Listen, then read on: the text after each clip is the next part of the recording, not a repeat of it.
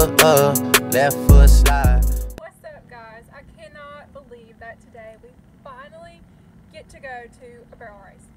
Now, this is a social distancing barrel race, so we're told to stay apart from each other and not to bring anybody unless they have to come, like you're a minor or, you know, you're running.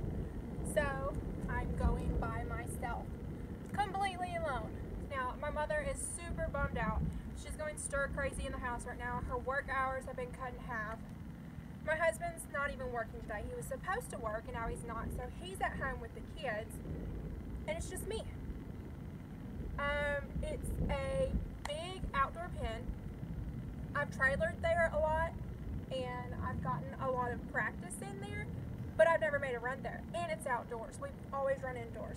So I'm hoping for a good run. I don't know how the ground's going to be. We got a lot of rain last night, but it's sand. So hopefully as they drag it and turn it over, it dries out just exactly how Gotti likes it. Um, today I am wearing my Hot Head Stalls shirt.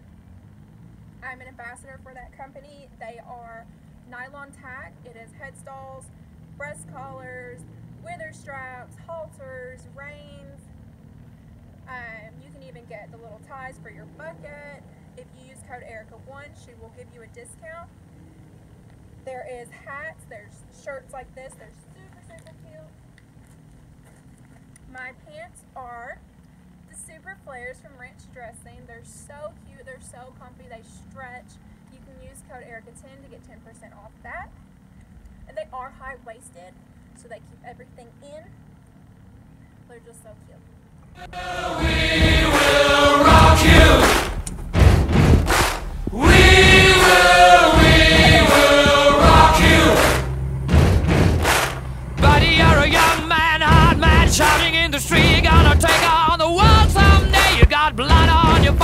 A big disgrace, waving your banner all over the place. We will, we will rock you.